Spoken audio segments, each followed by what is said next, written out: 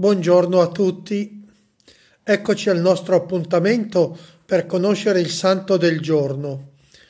Oggi abbiamo una santa che conosciamo ben poco, forse è ignorata da tanti, forse non l'abbiamo mai ascoltata, ma la nostra liturgia ambrosiana ce la presenta come una santa che ha fatto il suo compito di testimonianza ed è Santa Lucia Filippini Nacque nel 1672 a Tarquinia, orfana ancora di entrambi i genitori, seguendo il consiglio del cardinal Barbarigo, entrò a 16 anni nel convento delle Clarisse di Montefiascone, dove completò la sua formazione religiosa ed si delineò chiaramente la sua vocazione di educatrice. Svolse prima all'interno del, corpo, del chiostro un ruolo di sensibilissima e apprezzata formatrice. Poi il vescovo le affidò le opere scolastiche diocesane. Infine, con la sua maturata esperienza, realizzò il suo piano apostolico, dando origine al monastero educativo delle suore, che da lei prese il nome di Maestre Pie Filippine. Aprì numerose scuole a Montefiascone, poi a Roma e in altri centri d'Italia e ne costituì parecchie anche all'estero, particolarmente nell'America del Nord. Logorata dalle fatiche e da una dura malattia, morì nel 1732. Pio XI nel 1930 la dichiarò santa. Il 26 marzo si celebra però anche la memoria di Sant'Emanuele Martire, presumibilmente del III secolo, ricordato insieme a Quadrato e Teodosio, originari dell'Oriente, spinti dall'esempio e dal coraggio dei cristiani, al cui martirio avevano dovuto assistere, si presentarono personalmente e spontaneamente al governatore della loro provincia, dichiarandosi cristiani. Imprigionati subirono anch'essi il martirio.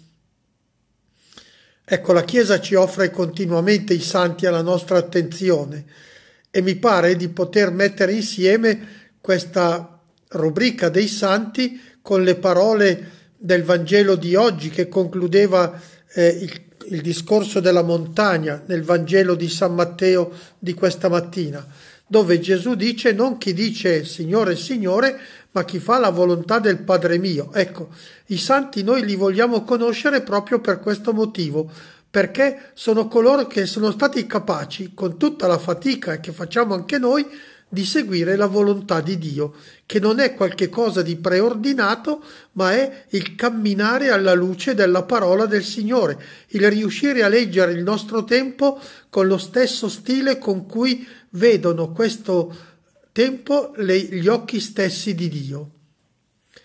Prima di concludere volevo farvi conoscere un libretto che è appena arrivato in chiesa. Voi sapete che arrivano tutte le riviste della buona stampa. Questa settimana la CEI ha mandato un libretto gratis, lo trovate in chiesa se volete andare. È questo che adesso vi faccio vedere. Eccolo qui. La Chiesa è viva, amen, la parola che salva. Ha le messe della domenica prossima, della Domenica delle Palme di tutto il triduo pasquale con Pasqua. C'è un piccolo problemino, non è il rito roma, ambrosiano, ma è il rito ambro- romano. Quindi, quando vedrete le messe in televisioni del Papa, eccetera, troverete queste letture. Noi in rito ambrosiano abbiamo un altro schema, abbiamo seguito altre strade. È un librettino molto bello perché in fondo ha moltissime preghiere che si possono fare in onore della Madonna, il rosario, varie invocazioni, la via Crucis e allora ci sono è un librettino molto molto semplice, molto bello ha delle preghiere davanti al crocifisso, davanti alla Madonna, delle preghiere per invocare l'aiuto della Vergine Maria in questo momento così difficile. Chi lo vuole passando in chiesa lo prenda. Intanto comincio a dirvi che domani mattina purtroppo la Via Crucis non la riprenderemo, la faremo solamente la trasmetteremo solamente con la radio perché è diventato complicato seguirmi mentre faccio il percorso della Via Crucis. Voi comunque fatela a casa, tanto la Via Crucis la trovate dappertutto, basta andare eventualmente su internet e trovate tutti i passaggi della Via Crucis. Vi saluto quest'oggi. Resistete, ancora un giorno pare che poi il tempo comincerà ad essere più mite e potrete in realtà respirare un'aria più serena e più tranquilla.